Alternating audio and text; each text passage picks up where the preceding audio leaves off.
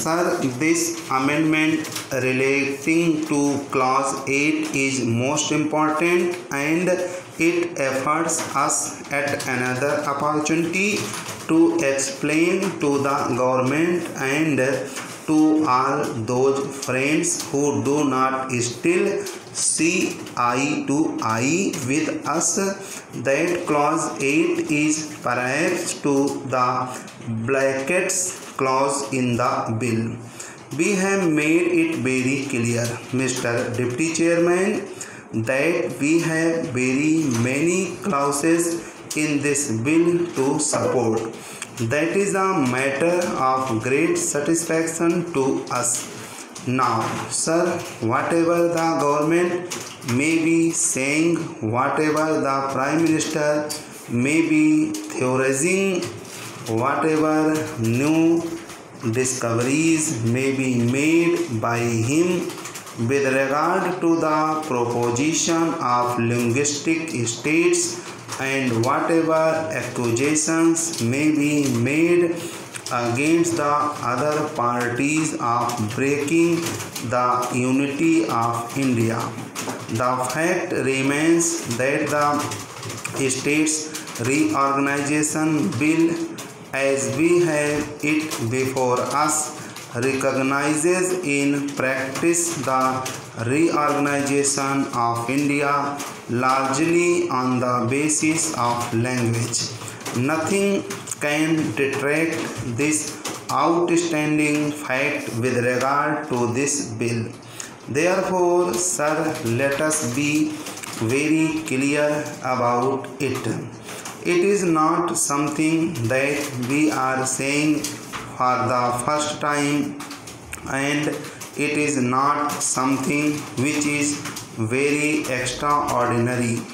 The whole bill is based on the acceptance of the underlying principle of linguistic reorganization of states.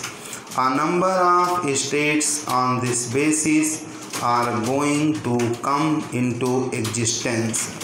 But uh, when we come to that region of Maharashtra and Gujarat, we find a different type of dispensation meted out to them.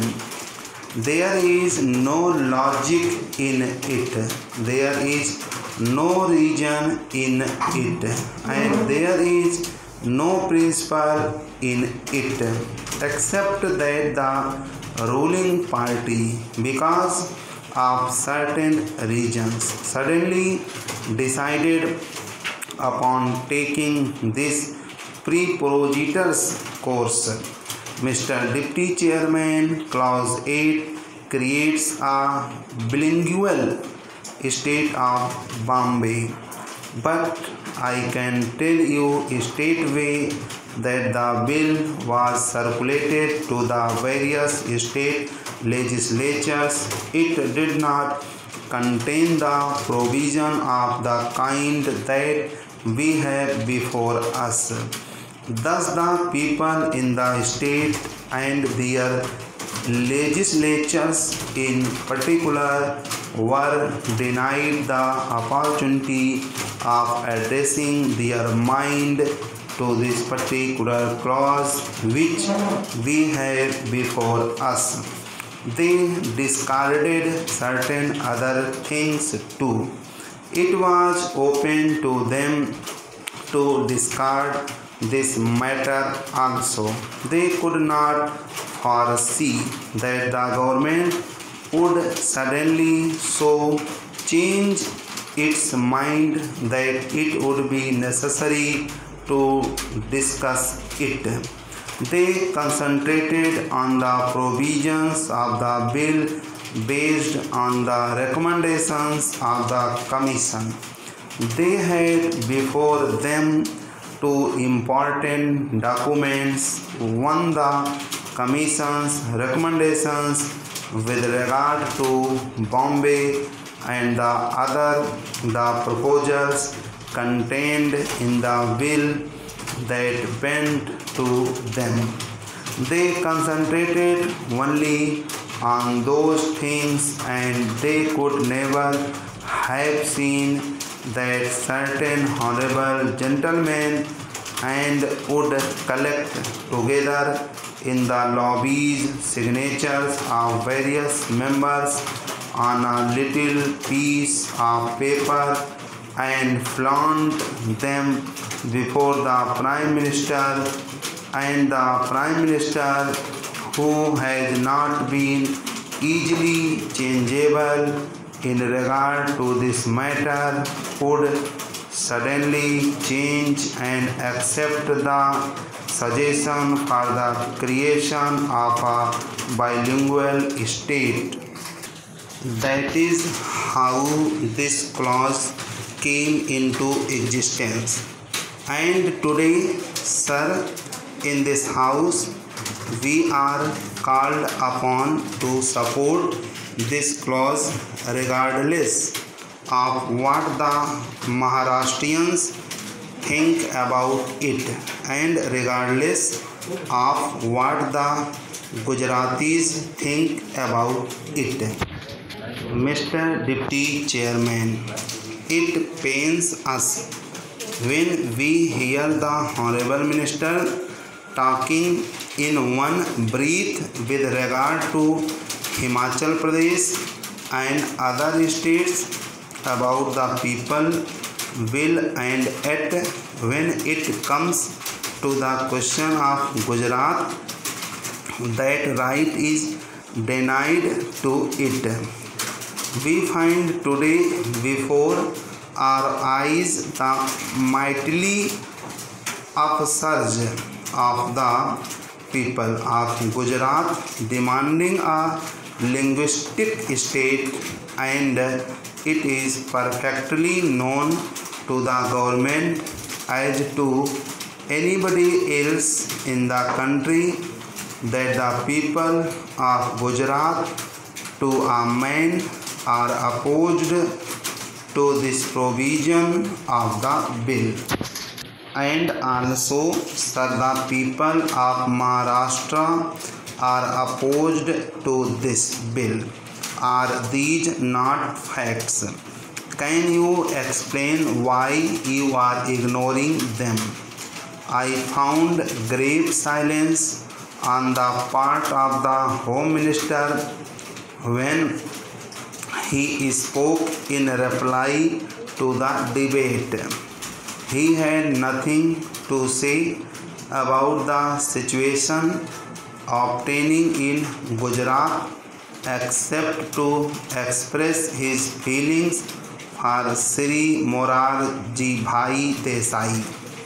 All of us have good feelings for him but greater are the people of Gujarat I should have thought that the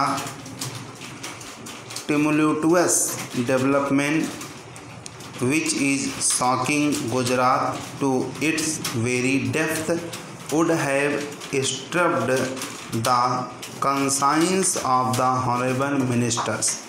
They should have told us as to what is this thing that is happening there.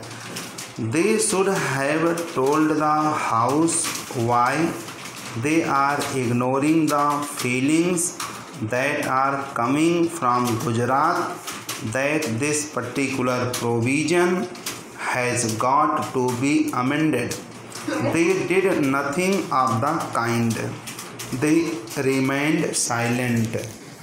Mr. Deputy Chairman, in the course of the debate, you know that I tried to find out as to how the government's mind was reacting to the developments in Gujarat. Honorable members of the Treasury benches thought that silence was golden in this case. How is this the way for a responsible government to function? Is this the way to establish the authority of democracy? Is this the way to present to the parliament to the people this question. I should have thought that honorable ministers would give the best of thoughts to the developments in Gujarat even at this late hour and see whether that situation could be met. We wished certain changes in the bill which would be acceptable to the people of Gujarat. A dogmatism has taken possession of them. Once they have decided that a bilingual state should come, they decided that it shall remain. I tell you that you are swimming against currents. You are fighting against the forces of history. Mr. Deputy Chairman, we were surprised to hear the Honorable Home Minister talking about the unanimous verdict of the Lok Sabha.